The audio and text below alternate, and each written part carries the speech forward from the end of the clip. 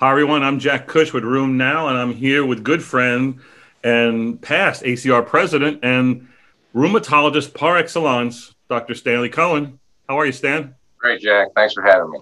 Yeah, I wanted to bring Stan on because he had a really great presentation um, this week at ACR where he was talking about comorbidities. And Stan, you were asked to talk about liver disease and RA. Now, no one really thinks of liver disease and RA, but it happens all the time. What was your take as you set out to talk about this? Well, this was a, a session on difficult RA cases, and uh, you know, they, my task was looking at the RA and, uh, and, the liver diseases. And as you know, in clinic, both of us deal a lot with the folks who have metabolic syndrome, obese, with non-alcoholic fatty liver disease. Is probably one of the most common dilemmas we have about which therapies to choose. And or later this morning, we're going to hear about the new ACR recommendations for pharmacologic treatment. This will be addressed there again. Uh, we frequently deal with issues of transaminitis related to our therapies, whether it be NSAIDs or whether it be methotrexate, leflunomide, or, uh, or even our biologics or targeted synthetic DMARDs. Uh, we rarely see uh, infectious uh, diseases such as CMV, which can affect the liver. I've had a few couple cases of amoebic abscesses and so forth. Um, and then we have the autoimmune syndromes, which rarely occur in RA, like primary sclerosing cholangitis, primary biliary cholangitis, that can be seen. Uh, in North America, we are infrequently uh, have to deal with patients who have been exposed in the past to hepatitis B. It's a real big problem worldwide, and there's a big problem with reactivation of hepatitis B in patients who receive immunomodulators. So I presented a case of actually one of my associates, uh, who was a lady who came with active rheumatoid arthritis and was found to be hepatitis B uh, surface antigen uh, positive and hepatitis core antibody positive without hepatitis B surface antibody. Uh, she had very low levels of hepatitis B viral DNA.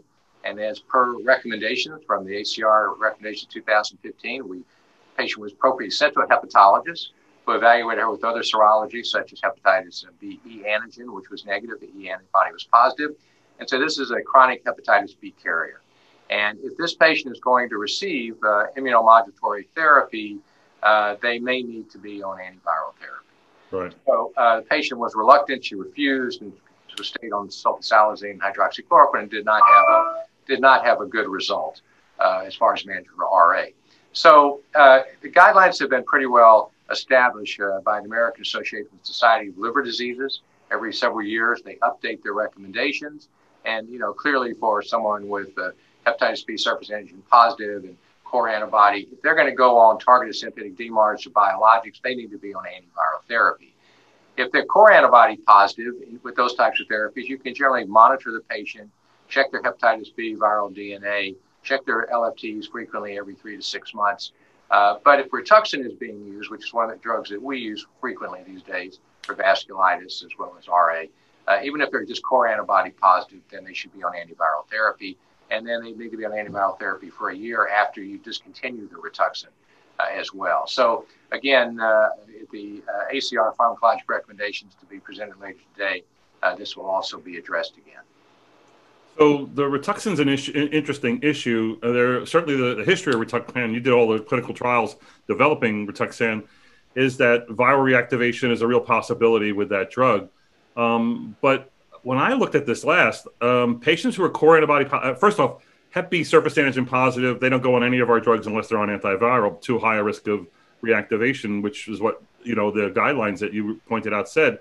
But core antibody positivity, meaning they have a resolved infection, um, but they're B surface antigen negative. There's a lot of leniency there, but you're saying with Rituxan, no. Are there actually case reports of reactivation in those people when Rituxan's used? Yes, and I think it's really more in the hematological literature. So it, it you know, and there are multiple therapies. So it is it's it's unlikely. And the other thing we commonly face in clinic, Jack, is we'll have these false positive hepatitis B core antibodies. People have never had any history of having hepatitis B. Right. That occurs. It's less likely than it was in the past. But so I think you just have to be diligent. You know, with a lot of the the information we use in rheumatology was taken from uh, oncology, hematology. So you just want to be uh, careful in those people. And the, the, the, big, the biggest uh, surprise was this uh, uh, paper that uh, from the RISE registry, which showed how little screening was done. And I was shocked in some of the questions we got in the polling is, do I need to screen for hepatitis B before I go on biologic therapy? And I was going, right. what do you what do you mean? That's what we do in every patient before we do methotrexate. Uh, we check hepatitis B serologies.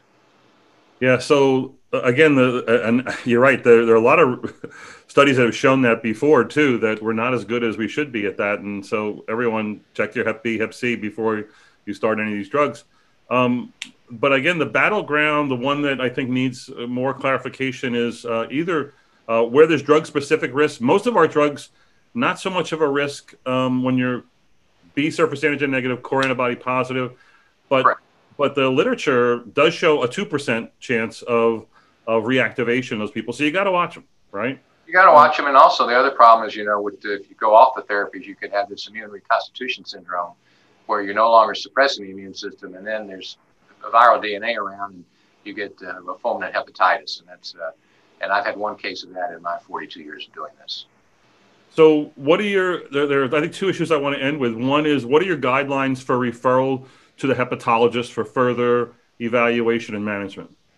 Well, it depends on how conservative you are. I mean, you know, certainly we have recommendations for us, but I, I am very liberal in my my referrals. I, I feel comfortable having someone looking over my shoulder who's a hepatologist who spends a lot of time doing this. And and sometimes they'll be your real partner and they'll assist you and they'll have the patient come back and they'll do the monitoring for you. Sometimes they won't. So, you know, again, uh, I think that uh, bringing another set of eyes to take a look at the situation is always helpful. If someone's core antibody positive, uh, and I'd like them to really drill down and do other serologies, which I normally don't do, like hepatitis B, E antigen, antibody, and things of that nature, to help better define uh, what's going on. So there are two new classes. Uh, uh, obviously, all our drugs can cause liver enzymes and whatnot. Two newer classes in the last uh, newer last 20 years. The the IL six inhibitors and the JAK inhibitors, where uh, liver enzymes are sometimes an issue. Um, what's your take on that? Especially you know the JAKs now. Uh, is that much of a of a concern? Well, first of all, as far as Hep B issue with JAKs, all those patients were excluded from clinical trials, so we don't really have any data. But as far as the liver itself, I, I don't think the JAKs are a major issue, certainly in monotherapy.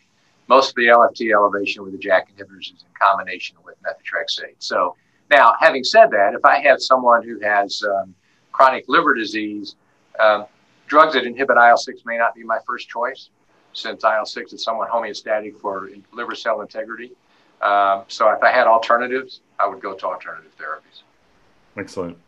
All right, so end with what are you looking forward to seeing on the last day here at ACR? Well, uh, I'm part of the pharmacologic recommendations that update. I uh, did a little, uh, you know, five minute to how you would use these in the clinic. So I'm looking forward to see uh, the presentation and how they're going to be received. Thanks. Uh, warmly, I'm, I'm, I'm sure. Stan, thank you for your time. As always, you're very helpful. Thank you, Jack.